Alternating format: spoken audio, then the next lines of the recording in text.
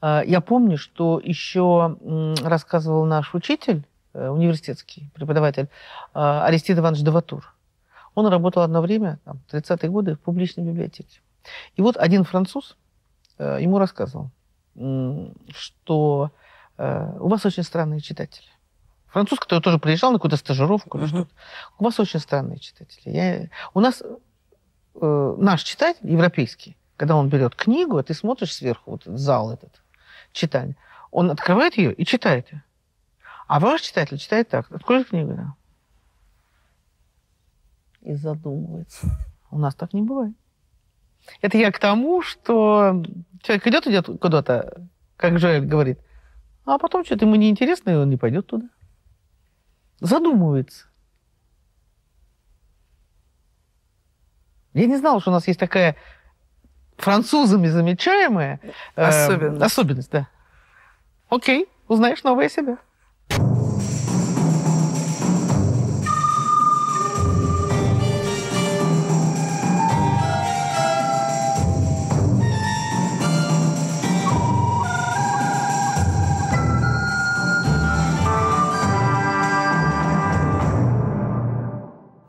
В эфире «Школа злословия» и ее постоянная ведущая Авдотья Смирнова. И Татьяна Толстая. В гостях у нас сегодня Жаэль Шапрон, иностранный корреспондент Канского фестиваля и вице-директор компании «Юнифранс» по Восточной Европе. Здравствуй, Жаэль. Добрый вечер. Да, давно тебя добивались сюда заполучить. А, для начала давай объясним зрителям, что такое иностранный корреспондент Канского фестиваля. Э, есть такой образ, особенно вот э, на охоте, есть человек, который э, является загонщиком. Вот я так и называю себя загонщиком. Это что значит? Это значит, что как любой действительно загонщик, я загоняю зверей, а охотник застреливает, там, выстреливает, не выстреливает, это уже не мое дело. Короче, я пытаюсь смотреть действительно все, что производится на территории бывшего Советского Союза. Я как бы составлю список, даю свои комментарии, и когда мне очень что-то нравится, естественно, приоритетно э, канский директор э, смотрит те фильмы, которые я рекомендую. Я хотела спросить о неких э, стереотипах восприятия России э, большими европейскими фестивалями что хотят видеть от России. Потому что у меня есть своя концепция этого, там, я ее изложу в двух словах, а дальше начнем спорить или не спорить. У меня ощущение, что единственное, что хотят видеть от России на международных кинофестивалях, это такой образ огромной кучи навоза, внутри которой, из, из страшного навоза, такого благоухающего, дымящегося. Свежего, внутри, свежего, да. Значит, это свежий. Да, внутри которого находится жемчужина русской духовности. Все. Вот если кино не соответствует этой формуле, ему делать на международных фестивалях нечего. Я, естественно, конечно, с этим абсолютно не согласен. И э, я даже больше скажу, на самом деле, я думаю, что ничего не ждут от русского кино как от такового. Мы ничего не ждем ни от аргентинского кино и ни от французского кино. В первую очередь, я буду говорить только о Канском фестивале, я не хочу там за Берлин или за Венецию. Но э, в первую очередь мы обращаем внимание на режиссуру и на постановку, потому что ключевой, ключевая фигура – это, конечно, режиссер, как он умеет действительно делать кино.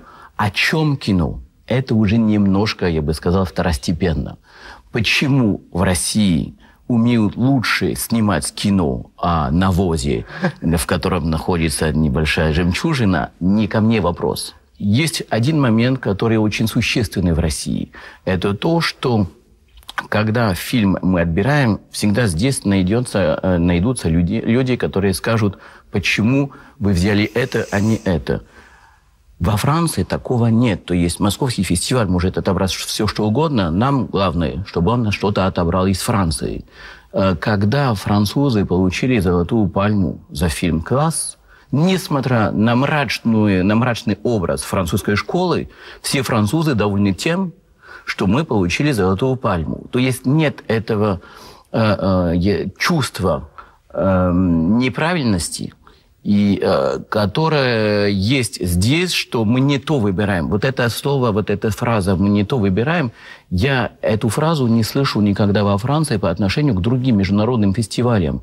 Не было такого, я не помню, я уже больше 20 лет этим занимаюсь, не было такого, чтобы мы кому-то говорили, а почему вы выбрали вот это, этот фильм, который э, плохо э, действительно показывает Францию. Что вы по этому поводу Э, думаете? Вот вы, происходя из культуры, в которой этот вопрос не задается, глядя на нашу культуру, в которой этот вопрос задается постоянно, и душераздирающие, так сказать, э, вопли по этому поводу. Что вы по, этому, по поводу этого феномена думаете? Я думаю, что на самом деле нет никакого доверия русских э, людей к своему искусству. И э, слово пропаганда, которое, которое действительно вот царилось здесь э, годами, если не десятилетиями, а, она что, оно, оно что означает? Оно означает, что поскольку люди здесь считают, что самим искусством они ничего не могут сделать вот с образом страны, надо пропагандировать какой-то образ положительный, естественно, потому что само искусство этому не помогает. Мы, наоборот, считаем то, что наше искусство литература, живопись, кино, что угодно, свое, э, и своим разнообразием достаточно для того, чтобы образ нашей страны пропагандировался сам по себе, по, всей, по всему миру. То есть мы доверяем своим э, действительно артистам, художникам, и мы считаем, что есть хорошие скульпторы, э, э, художники, кинорежиссеры, артисты, актеры. Все это разнообразие создает образ Франции за рубежом. Есть положительные моменты, негативные моменты, но все вместе взятое, это главное, вот, что это, это глобально. Все вместе взятое создает имидж страны. Вот я здесь делаю фестивали французского кино. Я всегда говорю, что есть кино для всех. Есть кино, которое мне не нравится, но мое мнение тут ни при чем. Потому что я знаю, что это кино кому-то понравится. И этому человеку главное вообще, что ему понравится, он подумает о Франции, он захочет поехать во Францию когда-нибудь. А вот возвращаясь к России, сейчас вот э, мой отец разговаривал с несколькими французскими славистами по своим делам. И один из э, этих французских славистов ему сказал, что вообще мне иногда кажется, что э, Россия держится силой зависти. Причем зависти в смысле не к, не к Западу, а людей друг к другу. Угу. У тебя тоже да, есть такой взгляд, конечно, да? Да, полностью разделяю это мнение. Прекрасно. Замечательно. А я вот слушаю, как вы говорите про Францию, и думаю, вот, и, значит, тогда люди поедут во Францию, а я мысленно думаю, приедут во Францию, попросят политическое убежище, или так осядут, а, понаедут в вашу Францию и все испортят. Почему? Потому что э, Франция слишком прекрасная, чтобы в нее не приехать. И русские, когда едут во Францию, они приезжают и говорят, так, тут у вас все не то. Неправильно вы, неправильно все. Франция должна быть не такая. Сколько раз я с этим сталкиваюсь. Да. Что вы здесь развели? Зачем вы это построили? Почему вы пускаете этих арабов? Вот неправильно вы все делаете. Это всегда так, я с вами согласен. Я не говорю, вот я, почему я говорю о туристах? Я говорю действительно о туристах из Японии, из Америки, отовсюду. Естественно, я не буду говорить, что моя страна лучше всех. Просто вот самое главное, чтобы люди приезжали в мою страну э, и тратили деньги, и чтобы моя страна вот еще и на эти деньги действительно жила дальше. В конце концов, экспорт э, э, того, что мы производим, э, это очень важно для страны, потому что мы экспортируем не только кино или автомобили, мы экспортируем именно имидж страны. И почему такая маленькая э, страна, как Франция, такая известная во всем мире, это именно потому, что мы экспортируем имидж страны путем э, э, культурной кино, экспансии. Да, культурная я понимаю. экспансия. Хорошо. Скажи, Разнообразная культурная я экспансия. Объясни тогда, хорошо, отвлекаясь от тематики именно кинофестивалей. А, тем не менее, ты много лет знаешь хорошо Россию. А, вот у любого э, цивилизованного русского человека, общающегося с европейцами, в какой-то момент возникает абсолютнейшее отчаяние от количества стереотипов даже у просвещенных европейцев в отношении России. Ты, как челнок, э, курсирующий между двумя культурами, да, с какими стереотипами о России тебе приходится спорить во Франции чаще всего? На самом деле, вот даже у просвещенных, как ты говоришь, людей э, стоит до сих пор вопрос, откуда столько денег взялось у, э, у, у некоторых людей. Ага. А, это легко, но не нам ответить на этот вопрос. Мы просто его задаем. Недра. А на самом деле... А? Недра. Недра. А, а на самом деле здесь мало кто может ответить на этот вопрос. Угу. Углеводороды. Вот, которые мы переводим в углероды. Я понимаю. Я понимаю. Но вот это, этот вопрос действительно до сих пор стоит. И, э, и, Но это вопрос как раз резонный. Он не относится к числу э, так сказать, неприятных стереотипов. Я понимаю, но с другой стороны он тесно связан со словом мафия. А, я понимаю. Вот Все, тут, я поняла, что ты имеешь в виду. Вот да. тут, конечно, естественная связь. Что любой русский это обязательно русская мафия. Не обязательно, но все-таки вопрос стоит. Откуда у него вдруг взялся, вот, взялось столько денег? Вот 20 лет тому назад он еще жил там в общежитии, а сейчас он возглавляет, э, и не только возглавляет э, предприятие какое-то большое, это как бы нормально и у нас тоже. Да. Но зато возглавляя он зарабатывает столько, что и нам вообще даже и как бы не снится. Ага. Вот ага. эти вопросы, они до сих пор действительно существуют, и мало кто может ответить на эти вопросы. Ага. А, и поскольку это не совсем понятно, то есть какое-то какое априори и э, предупреждение к э, э, русским людям, потому что мы не знаем, я кое-кого знаю, но они не знают действительно, с кем они имеют дело ага. с кем они общаются, что это за люди, почему телохранители, почему эти большие машины, почему еще вторая машина с, с другими телохранителями и так далее. Вот в этом отношении до сих пор есть действительно большое предупреждение. Какая, а главное, как отличить человека с двумя машинами от человека с двумя машинами? Да, совершенно верно.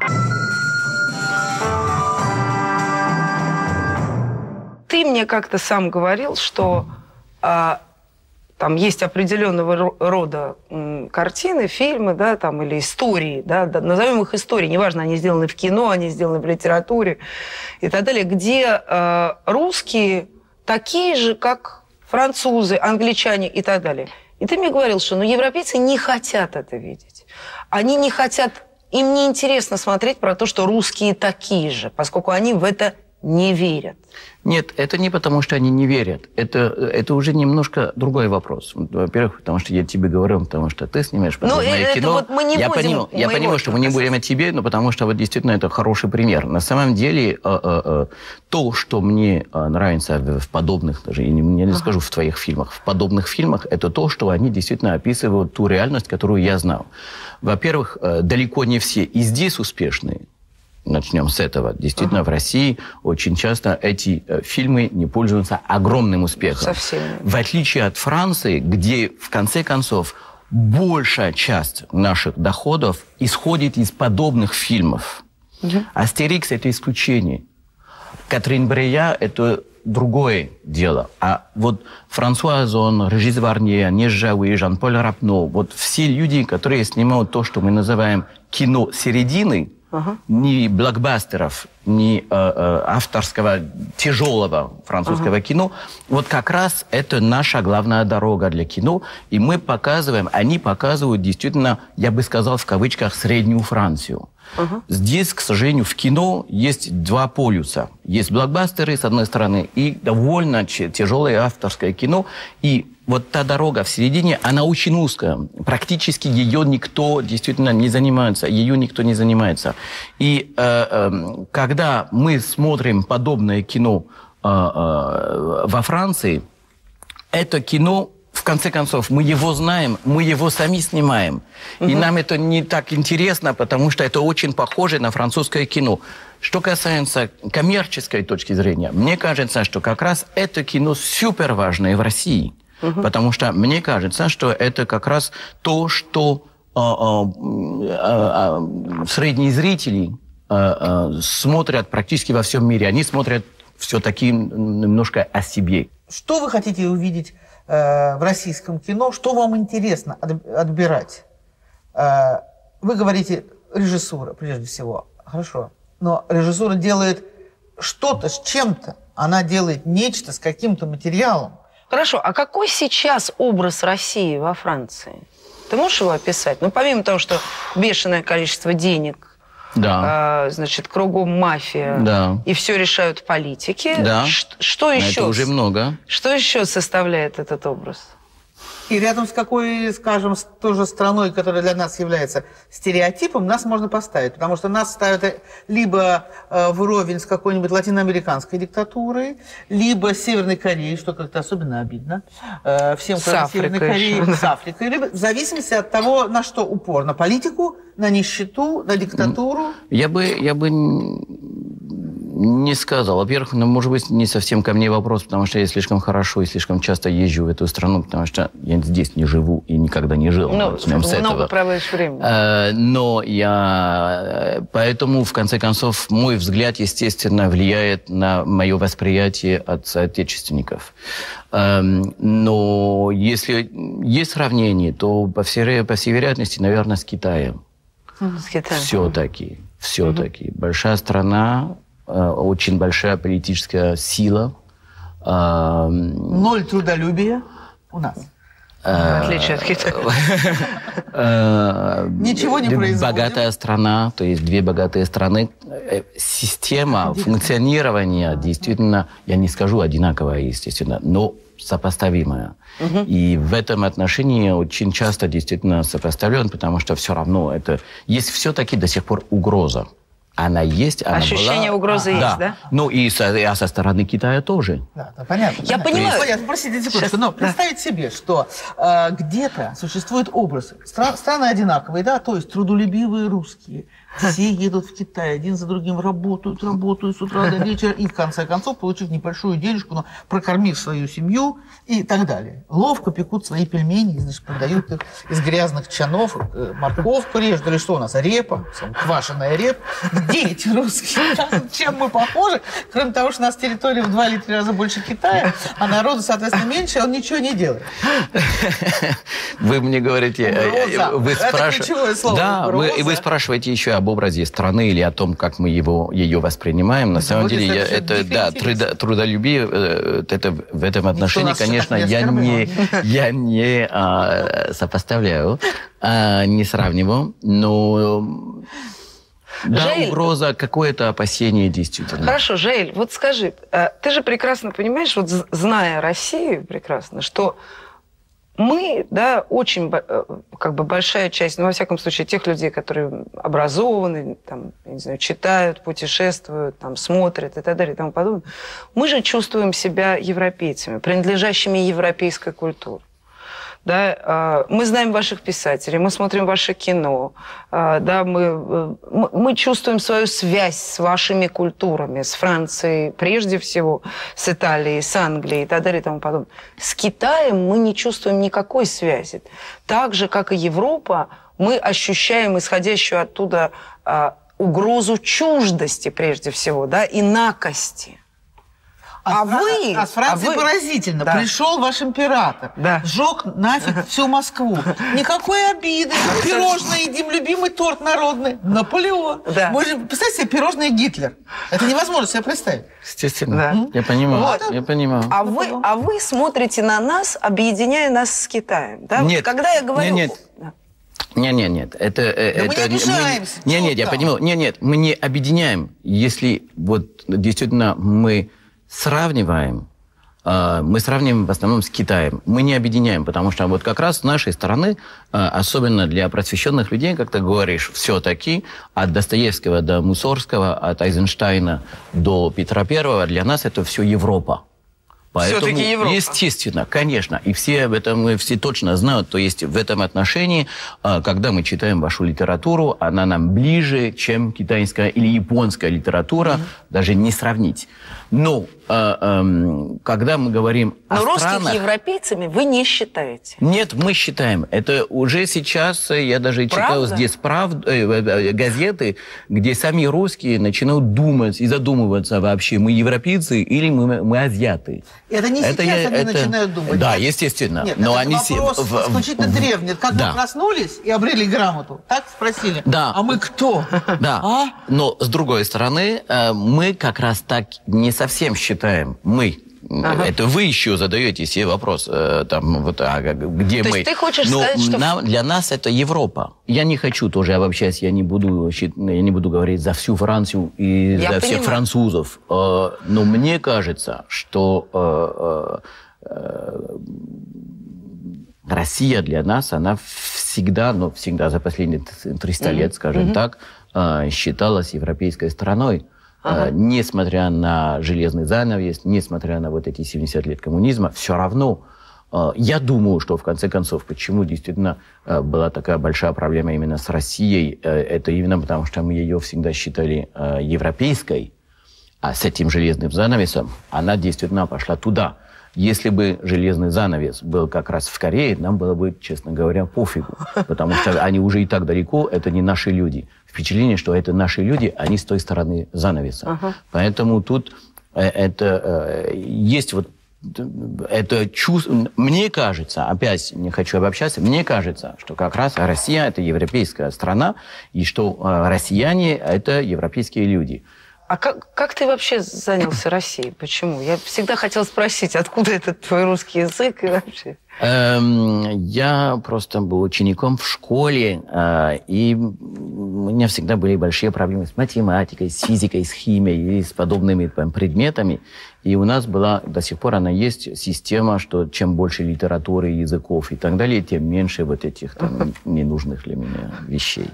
И э, поэтому э, есть э, примерно в 15 лет, в, я бы сказал, в восьмом классе, возможность выбрать еще третий язык. У меня до того был английский и немецкий. И чем больше языков, чем меньше вот этих ага, ага. предметов. И э, не я взял, в конце концов, русский язык. Это единственный язык, который преподавали в моей школе как третий язык. Был бы португальский, я бы занялся португальским запросто. Ага. Только не математика, химия, вот это все дело. И, эм, и просто аппетит приходит во время еды. Мне просто было жутко интересно. Я здесь впервые оказался в апреле 78 года. Страна была очень интересной. Молодому человеку, мне было 17 лет, я ничего не понимал. Я немножко к этому времени уже ездил, немножко по миру. Я не понимал, как люди здесь живут, почему такая агрессивность, почему действительно в метро вот все люди очень агрессивно друг к другу, почему нет никакой вежливости по отношению к друг другу. И мне почему было непонятно, потому что у меня были здесь не то что друзья мои, но я кое-кого uh-huh. знал через друзей. И те самые, которые абсолютно невежливо относились друг к другу, оказываясь дома, были самыми улыбчат, щедрыми, да. приятными, хорошими людьми, которые были готовы тебе дать вообще все до последней рубашки. И мне вот эта шизофрения, мне было очень интересно, потому что в одном человеке две дороги. Одна публичная, где нет никакой вежливости, нет никакого уважения, нет никакого там трудолюбия и так далее. Вот это все как бы для улицы. А дома самые приятные, интересные, хорошие, теплые люди. И обратите внимание, то же самое распространяется на э, восприятие э, пространства. То, что дома уютно, хорошо подметено пирожки, а как только откроешь дверь да. на лестничную площадку, да, совершенно о, верно. Делается, да, кошмар. да, да. На самом деле я занялся языком, потому что я думал, что я не понимаю этих людей. Не то, что языковое, там, лингвистически не понимаю. Я просто не понимаю этих людей. И надеюсь, что если я выучу язык, я в конце концов их пойму.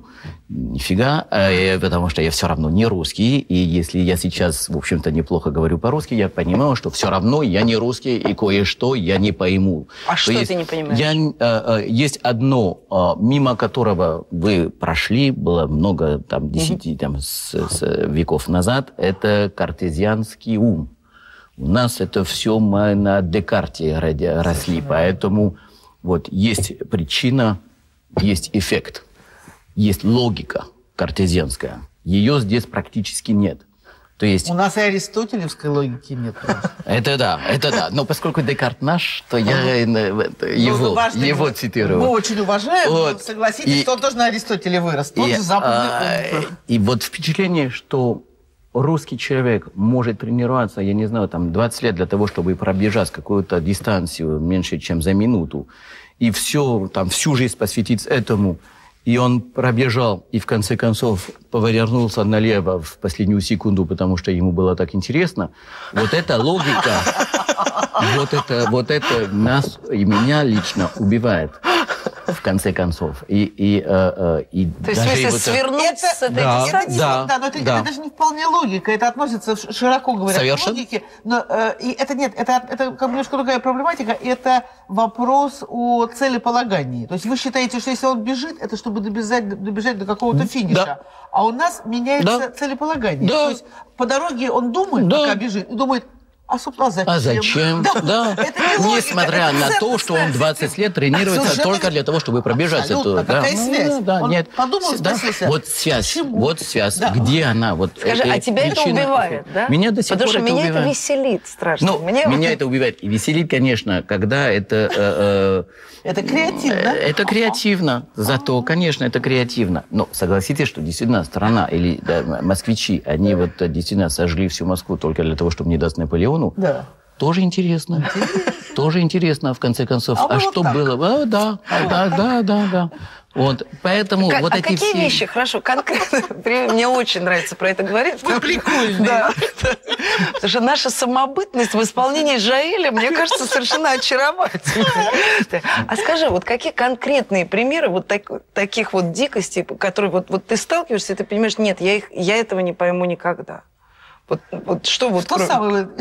Да, самое вопиющее. Конкретные вещи. Удивительно. Um, ну, даже если просто говорить о кино, о, человек снимает кино, хочет попасть на Каннский фестиваль, фильм попадает, в конце концов он не приезжает. А зачем? Хотя там как бы все эти годы только об этом а такое мечтал. было, да? Было. Был даже случай, там, э, это другой случай, э, э, там, 20 лет тому назад тоже приехал человек и, в конце концов, не, не пошел на свой собственный показ. Несмотря на то, что Каннский фестиваль его отобрали, не пошел. Потому что он встретил людей на улице, было интересно. И все, в этом, вот это, вот это, это, конечно, веселит. Но, с другой стороны, согласись, что кроме как с русскими у нас таких случаев не было никогда. И не пошел, это, было интересно. Да, да, да, потому что в конце концов встретили людей, и в конце а концов... фильм он это, уже да, видел. Да, фильм он уже видел, в конце концов. Зачем? Нет, это... Прекрасно. А, а, и, и, и, и в жизни, и я даже не знал. Я, э, э, я даже не знал. Это, это вот отсутствие логики э, картезианской, я бы сказал. Вот я, я здесь был, я очень хорошо помню Московский фестиваль лет 10 тому назад. Я жил тогда в гостинице «Националь». В «Национал» у нас были микроавтобусы в Союз кинематографистов кино смотреть. И поскольку в «Национале» жили одни иностранцы, одни иностранцы, один я говорю по-русски и отъезжает микроавтобус а, для того, чтобы доехать до Союза кинематографистов, что, собственно, по Москве не так далеко и не так сложно найти. И вдруг мы слышим, а где это? Никто не, обра... не обращает внимания, естественно, потому что это водитель, что-то ага. спрашивает явно на, на каком-то языке. Только я понимаю, я говорю, где это что? Этот союз кинематографистов спрашивает водитель, который ага. только вот туда-сюда. Я говорю, а что вы не знаете, где союз кинематографистов? И тут поворачивается и говорит, а если бы я знал, я бы не спросил. И вот таким тоном, и вот это не услышишь у французского водителя, который, наоборот, ничего не скажет. Он может заблуждаться, ничего не спрашивая, но тут человек не думает, что, может, если ему как бы нельзя это спросить, что если, по идее, это не положено, по идее, он знает, а они не знают. Вот. И тут он как бы довольно агрессивный. Да, да, если бы я знал, я бы не спросил. Да, это логично, это его логика, это не моя, это его, но это его логика. Вот это подобных случаев у меня полно в, в моей истории здесь. Ага. Уже все такие больше 30 с чем-то лет. Ага. Моя дочка здесь э, стажировалась э, прошлой зимой. Мы в первый день пошли, она говорит по-русски, мы в первый день пошли в метро и объяснил вообще, как покупаться, вообще, что за талоны и так далее. И э, она подходит и говорит, здравствуйте, а я бы хотела, значит, получить талон на 5 поездок. Я говорю, стоп, ты говоришь пять, и уходи, потому что будут на тебя орать, потому что из-за тебя там все стоят в очереди. Так что тут это как раз твое, что я тебе вот действительно, э, что я тебе говорил всю там, да, все детство, что надо там здравствуйте, спасибо, пожалуйста. Здесь это не проходит, не надо, потому что тебя будут ругать. Они дичают, приезжают такие образованные. Да, да, да, да. Ага. А, скажи, а ты ездишь по России, кроме Москвы и Петербурга? Да, очень много благодаря кино как раз, потому что я езжу по многим-многим... Где э, интересно, где нравится, где понравилось? Э, мне или, интересно или везде. Про... Да, Мне интересно везде. Э, я, конечно, езжу в основном по большим городам. Екатеринбург, Владивосток, Хабаровск, Калининград, там, Новосибирск, Ростов-на-Дону и так далее. Когда ты оказываешься во Владивостоке, ты понимаешь, что Москва – это другое э, другая планета. Когда у тебя есть деньги э, в, во Владивостоке, ты ездишь за покупками, естественно, не в Москву, а в Сеул, потому что это полтора часа езды. Если есть интересная выставка, они полетят лучше в Токио, чем в Москву. Угу. Это ближе. Несмотря на то, что это русские люди, там японцы, угу. а там угу. русские, все равно в этом отношении там э, э, дистанции, расстояния, они играют свою роль и немаленькую роль и опять возвращаясь к нашей первой теме, э, имидж страны. Мы я точно, и, наверное, лучше многих французов знаю, насколько у нас положительный имидж страны, несмотря на Наполеона. Ага. Эм, уже больше 300 лет. Я э, сейчас пишу книгу об истории русского кино во Франции и об истории французского кино в России. Mm-hmm. И на самом деле, действительно, наше кино здесь, оно всегда славилось, оно всегда было очень хорошо это принято. Да, это правда. Мне кажется, что для России на протяжении многих веков, вот как Англия была а, образом чувства собственного достоинства да, и самоуважения, да, как квинтэссенция, так Франция была а, синонимом понятия хорошего вкуса, который и дает сочетание а, красоты и интеллекта. Хорошего вкуса, хороших манер, да, правильной а, организации жизни, а, жизни индивидуума, да, это Франция для нас образ хорошего вкуса, которым не является и не являлась ни Италия, ни Испания, ни Англия.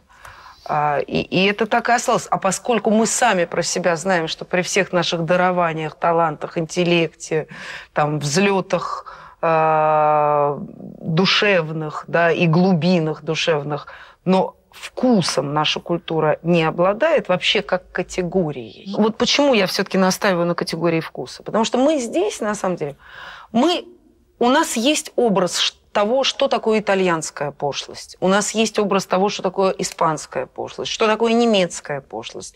И даже что такое английская пошлость. Достаточно, так сказать, подумать о болельщиках, да, предположим, и так далее. Но мы не понимаем, что такое французская пошлость. Она есть. А что такое французская пошлость?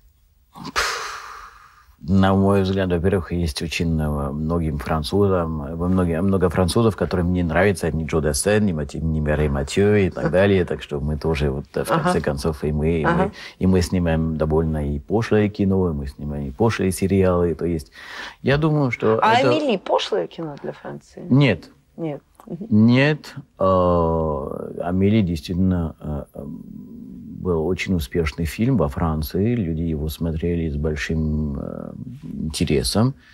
Э, Амели э, для нас это, особенно для экспорта, это какая-то открытка, естественно, ага. э, где, которая вообще не, не, не, не описывает никакую реальность. Этого нет, этого мира нет во Франции. Но Амели как раз сыграла эту роль и для экспорта, и даже в России. Особенно Амели здесь э, фильм вышел, когда практически кинотеатров еще не было. Поэтому, в конце концов, все смотрели Амели, но в основном дома на пиратском DVD.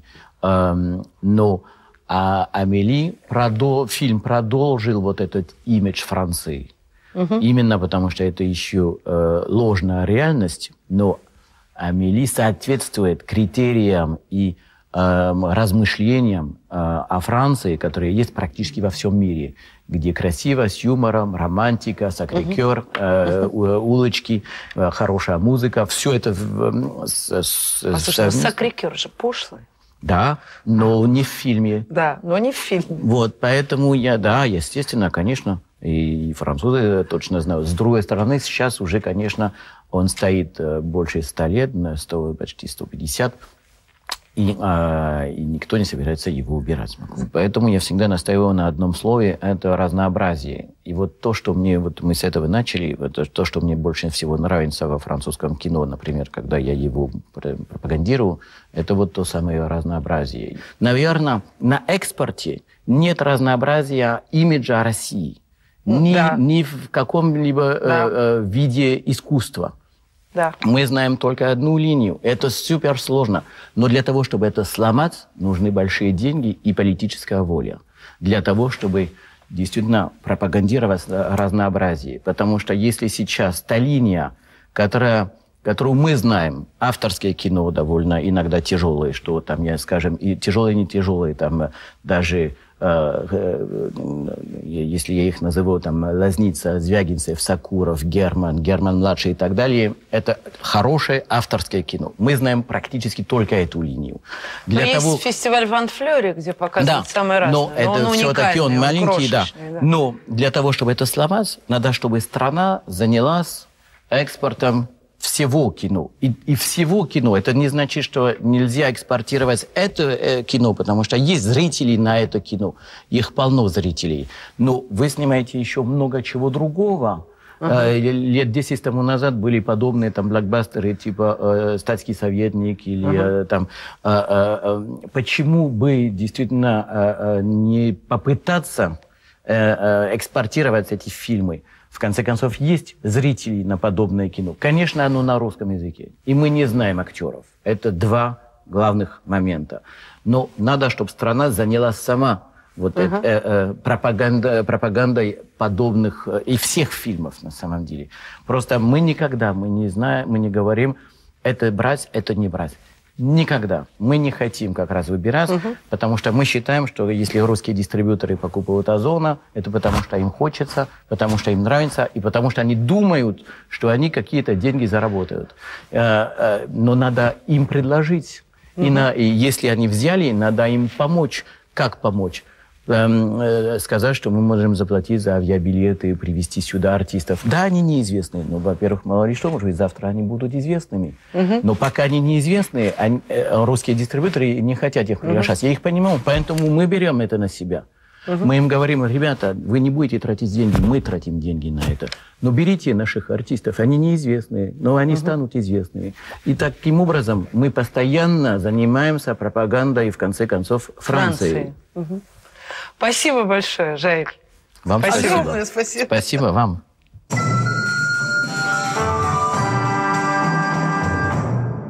Я очень доволен этим разговором, потому что мне кажется, что от этого разговора возникает еще больше вопросов, чем перед разговором. И э, я думаю, что мы можем еще э, бесконечно говорить об обмене мнениями э, между Францией и Россией во всех абсолютно областях. Так что я очень доволен, надеюсь, что продолжу этот разговор.